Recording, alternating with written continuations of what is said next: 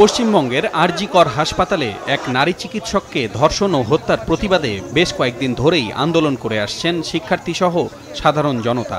গেল কয়েকদিন ধরে সেই বিক্ষোভ রূপ নিয়েছে মুখ্যমন্ত্রী মমতা ব্যানার্জির পদত্যাগের আন্দোলনে। আজ সকালে কলকাতার বিভিন্ন এলাকা থেকে মিছিল বের হয়ে সবাই রওনা হয় পশ্চিমবঙ্গের সচিবালয়ে নবান্ন ভবনের উদ্দেশ্যে। মমতার পদত্যাগের দাবিতে স্লোগানে স্লোগানে মুখর হয়ে ওঠে রাজপথ। বিক্ষোভের মুখে কোনা এক্সপ্রেসওয়ে বন্ধ করে দেয়া হয়।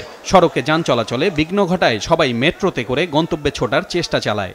বিক্ষোভকারীরা পশ্চিমবঙ্গের সচিবালয়ে নবান্নে প্রবেশের চেষ্টা চালালে পুলিশ তাদের বাধা দেয়। এক পর্যায়ে বিক্ষোভকারীদের সরিয়ে দিতে কাদানে গ্যাস ও জলকামান ব্যবহার করে পুলিশ। অপরদিকে আইনশৃঙ্খলা রক্ষাকারী বাহিনীকে প্রতিহত করতে ইট পাটকেল নিক্ষেপ করেন বিক্ষোভকারীরা। নবান্ন ভবনের সামনে ছাড়াও মহাত্মা গান্ধী সড়ক, Kolkata police training college, Santragachi ও হাওড়া সেতুতে বিক্ষোভকারীদের সঙ্গে পুলিশের ব্যাপক সংঘর্ষ হয়। এ সময় আহত হয় অর্ধ শতাধিক। বিক্ষোভকারীদের ইটের আঘাতে আইন শৃঙ্খলা রক্ষাকারী বাহিনীর বেশ কয়েকজন সদস্য জখম হয়। যে সময় বিক্ষোভকারীদের সঙ্গে পুলিশের সংঘর্ষ চলে, সে সময় নবান্ন ভবনের ভেতরেই অবস্থান করছিলেন মুখ্যমন্ত্রী মমতা ব্যানার্জি।